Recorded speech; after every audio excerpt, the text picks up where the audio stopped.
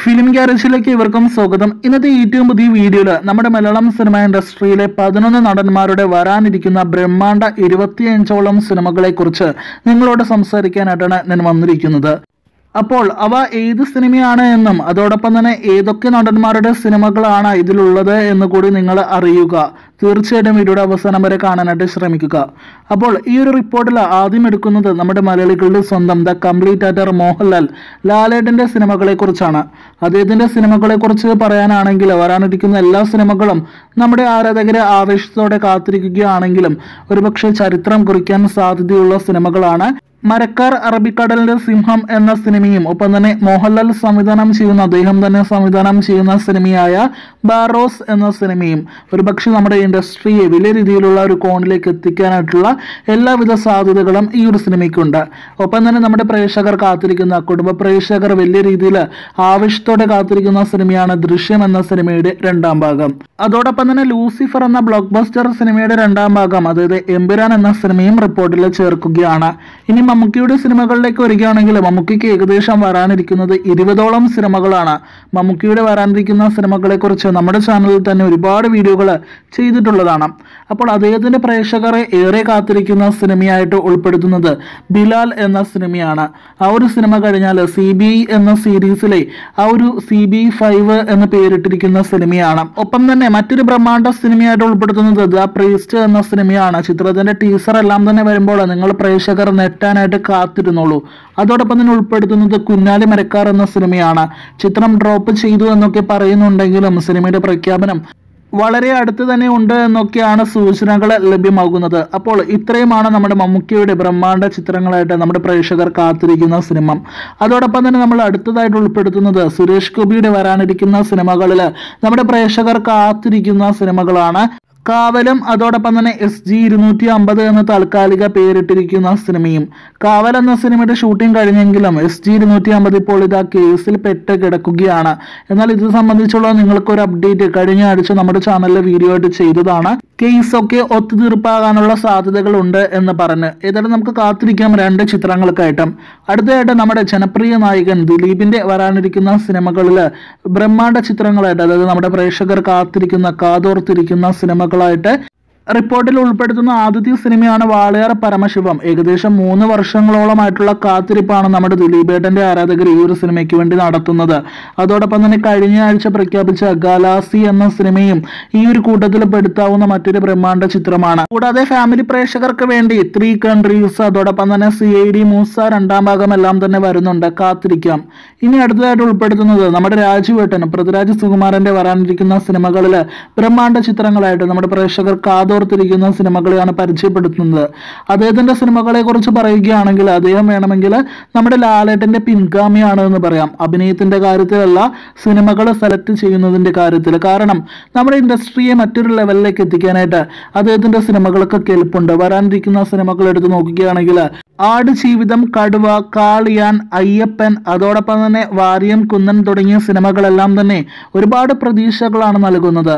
അതോടൊപ്പം തന്നെ പൃഥ്വിരാജിന്റെതായി വരാനിരിക്കുന്ന ഇന്ത്യയിലെ ഫസ്റ്റ് വെർച്വൽ പ്രൊഡക്ഷനിൽ ഒരുങ്ങുന്ന സിനിമ ഇതെല്ലാം കൂടി കൂട്ടിച്ചേർത്ത് വായിക്കുമ്പോൾ അദ്ദേഹം ലാലേട്ടന്റെ പിൻഗാമി എന്ന് പറയാൻ പറ്റില്ല.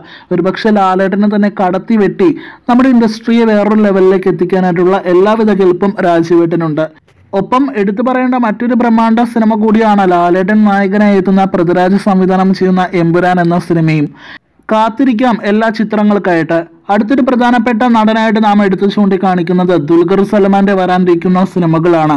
അദ്ദേഹത്തിന്റെ സിനിമകളെ കുറിച്ച് പറയുകയാണെങ്കിൽ ഒരുപാട് സിനിമകൾ ഉണ്ടെങ്കിൽ പോലും നമ്മുടെ ആരാധകരെ ഏറെ ആവേശത്തോടെ കാത്തിരിക്കുന്ന സിനിമയായിട്ട് ഈ ഒരു റിപ്പോർട്ടിൽ ഉൾപ്പെടുത്തുന്ന ഒരൊറ്റ സിനിമയാണ് കുറുപ്പ് എന്ന സിനിമ. ശ്രീനാഥ് രാജേന്ദ്രൻ സംവിധാനം ചെയ്യുന്ന ഈ ഒരു കുറുപ്പ് എന്ന സിനിമയ്ക്കായിട്ട് നമുക്ക് കാത്തിരിക്കാം. ഇനി നിവിൻ ബോളിവുഡ് സിനിമകളിലേക്ക് വരികയാണെങ്കിൽ അദ്ദേഹത്തിന് അദ്ദേഹത്തിനുമുണ്ട് കാത്തിരിക്കാനായിട്ട് ഒരുപാട് സിനിമകൾ. എങ്കിലും രണ്ടേ രണ്ട് സിനിമകളാണ് ബ്രഹ്മാണ്ഡം എന്ന വിളിപ്പേര് വേണമെങ്കിൽ നമുക്ക് കൊടുക്കാൻ പറ്റുന്ന സിനിമ.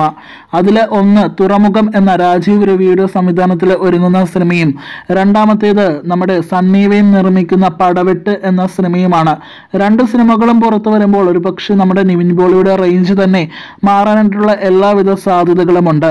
കാത്തിരിക്കാം. അടുത്തതായിട്ട് നാം ഉൾപ്പെടുത്തുന്നത് ഫാദ് ഫാസലിന്റെ വരാനിരിക്കുന്ന സിനിമകളെ കുറിച്ചാണ് അതിൽ ഏറെ പ്രതീക്ഷയോടെ കാത്തിരിക്കുന്ന ഒരൊറ്റ സിനിമയെക്കുറിച്ചാണ്. സീവുസോൺ ട്രാൻസ് തുടങ്ങിയ സിനിമകൾ വന്നതോടെ നമ്മുടെ ഫാദ് ഫാസലിന്റെ റേഞ്ച് തന്നെ മാറിയിരിക്കുകയാണ്. ഒരുപക്ഷെ നമ്മുടെ മോളിവുഡ് ഇൻഡസ്ട്രിയെ വേറൊരു ലെവലിലേക്ക് എത്തിക്കാനായിട്ട് പൃഥ്വിരാജ് കഴിഞ്ഞാൽ ഫഹദ് ഫാസലിനാവും എന്ന ഒരു പൂർണ വിശ്വാസം നമുക്കുണ്ട്. അദ്ദേഹത്തിന്റെ മാലിക് എന്ന സിനിമ തന്നെയാണ് ഈ ഒരു റിപ്പോർട്ടിൽ നാം ഉൾപ്പെടുത്തുന്ന അദ്ദേഹത്തിന്റെ സിനിമ. മഹേഷ് നാരായണൻ സംവിധാനം ചെയ്യുന്ന സിനിമ വൈകാതെ തന്നെ തിയേറ്ററുകളിലേക്ക് എത്തുമെന്ന് നമുക്ക് പ്രതീക്ഷിക്കാം. അടുത്തതായി നാം ഈ ഒരു റിപ്പോർട്ടിൽ ഉൾപ്പെടുത്തുന്നത് ടൊവിനോ തോമസിന്റെ വരാനിരിക്കുന്നവയിലെ ഏറ്റവും ബ്രഹ്മാണ്ഡ ചിത്രമായിട്ട് ഉൾപ്പെടുത്തുന്ന രണ്ടേ രണ്ട് സിനിമകളാണ്. അതിൽ ആദ്യത്തെ സിനിമ മിന്നൽ മുരളി എന്ന സിനിമയാണ്. ഈ ഒരു സിനിമയെക്കുറിച്ച് പറയുകയാണെങ്കിൽ ഒരുപക്ഷെ നമ്മുടെ മലയാളം സിനിമ ഇൻഡസ്ട്രിയിൽ ആദ്യമായിട്ടായിരിക്കാം ഇങ്ങനെ ഒരു സിനിമ വരുന്നത്. ചിത്രത്തിന്റെ ടീസർ തന്നെ വലിയ രീതിയിലുള്ള ആവേശം തന്നെയാണ് നമ്മുടെ അച്ചായൻ ഫാൻസിനിടയിലും ഒപ്പം തന്നെ സിനിമാ പ്രേമികൾക്കും ഇടയിലും ഉണ്ടാക്കിയത്. ഈ ഒരു സിനിമ ബേസിൽ ജോസഫ് സംവിധാനം ചെയ്യുന്ന സിനിമ വലിയ രീതിയിലുള്ള ഹൈപ്പിലോടെ തന്നെയായിരിക്കും തിയേറ്ററുകളിലേക്ക് എത്തുക. വിവിധ ഭാഷകളിൽ ഇന്ത്യയിലെ അഞ്ച് ഭാഷകളിലായിരിക്കും സിനിമ പുറത്തിറക്കുക എന്നൊക്കെയാണ് ഏറ്റവും പ്രധാനപ്പെട്ട വിവരം. രണ്ടാമത്തെ സിനിമയായിട്ട് ഉൾപ്പെടുത്തുന്നത് അജയന്റെ രണ്ടാം മോഷണം എന്ന സിനിമയാണ്.